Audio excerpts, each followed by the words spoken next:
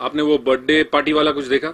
So basically यहाँ पे जो विधा, जो छोटी बच्ची है, उसके लिए एक परशा एक बहुत ही बड़ी पार्टी अरेंज करता है, वो चौल में रहता है। तो वो जब उसको विप्लव के साथ देखता है कि विप्लव उसको अच्छी अच्छी गिफ्ट्स दे रहा है तो ये डिसाइड करता है कि कुछ भी होगा, लेकिन मैं ऐसी पार्टी दूँगा जो बड़े बड़े अमीर लोग वाले को बुलाता है एंड ऑल दैट तो उसके लिए कुछ बड़ा करने की कोशिश कर रहा है, जिसके लिए उसने पैसे उधार भी लिए हुए मनी लेंडर्स से।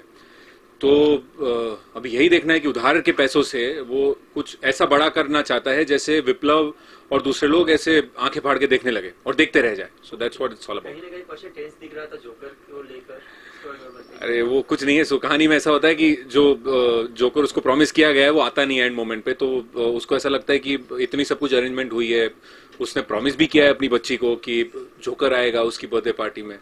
तो इसलिए वो थोड़ा सा कहीं ना कहीं टेंशन में है ओके तो क्या जोकर आएगा विविधा को क्योंकि पर्सन ने विविधा को ऑलरेडी ये जोकर आएगा कि नहीं आएगा वो तो मुझे भी नहीं पता। काश मैंने आगे की स्क्रिप्ट अभी तक मुझे मिली नहीं है सो आई डोंट नो कि जोकर आएगा कि नहीं आएगा। बट या जो भी होगा इंटरेस्टिंग होगा hundred percent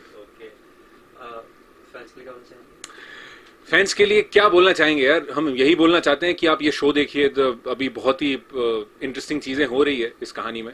so I really hope कि uh, आप सबको वो पसंद आए हम जो मेहनत कर रहे हैं वो आपको पसंद आए। That's Thank you.